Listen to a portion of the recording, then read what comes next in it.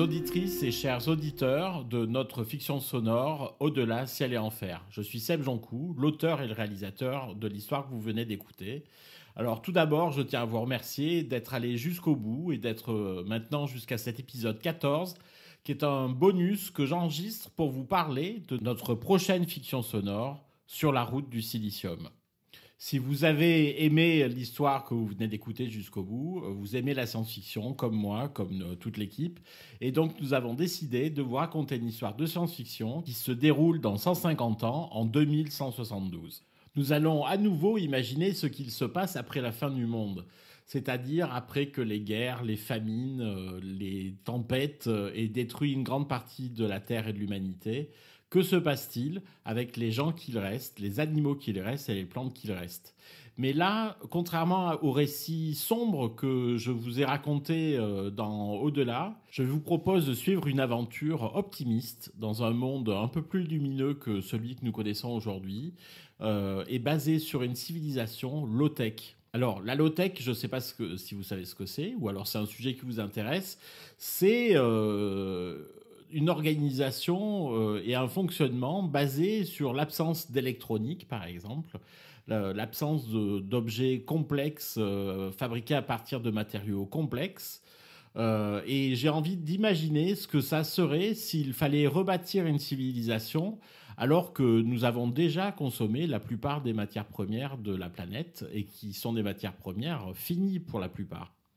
Cette aventure, elle va explorer ce que serait le monde si on utilisait donc une technologie euh, plus douce, plus basse, euh, et aussi si les survivants de tous les cataclysmes qui sont devant nous euh, ben, avaient peut-être un peu changé, avaient peut-être un système de valeurs un peu différent et espéraient des lendemains meilleurs. Alors, loin de moi l'envie de vous spoiler, euh, je ne vais pas le faire, mais par contre, je peux vous parler un petit peu des personnages de cette aventure, car ils sont particuliers. Il y a d'abord Tully Eiffel, qui est une ingénieure et surtout une bibliothécaire de la ville de Paris, euh, qui est l'héroïne de notre récit. Elle est déterminée, courageuse et inventive, euh, et elle va mener un groupe d'aventuriers jusqu'au bout du monde, aller-retour, pour euh, sauver Paris et sauver peut-être même la civilisation. Elle est accompagnée de l'égide euh, Lazare, Pierre Lazare, qui est un chevalier, on va dire, mais un chevalier euh, dans un, monde qui n'est pas médiéval. et ces deux héros ont des montures, des montures très particulières, qui sont des chevaux magnifiques, un destrier et un palefroid. Mais ces chevaux sont des personnes. Ils pensent comme des humains. Ils ne sont pas des humains, ce sont des, chevaux intelligents qui sont capables de communiquer par la pensée avec leurs cavaliers. Et donc, euh, cette relation particulière entre humains et animaux, euh, ça va être une composante importante de ce récit.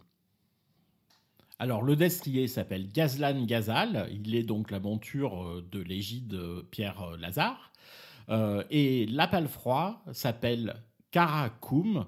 Euh, c'est une Akalteke euh, et elle est la monture euh, de la bibliothécaire Tully Eiffel. Donc ces quatre aventuriers parisiens vont marcher sur les pas de Marco Polo, hein, d'une certaine façon, retrouver les caravansérails et les pistes de la route de la soie qui existent depuis des millénaires et qui, du fait de l'évolution de, de, la société de la civilisation, sont des chemins qu'il va falloir rouvrir.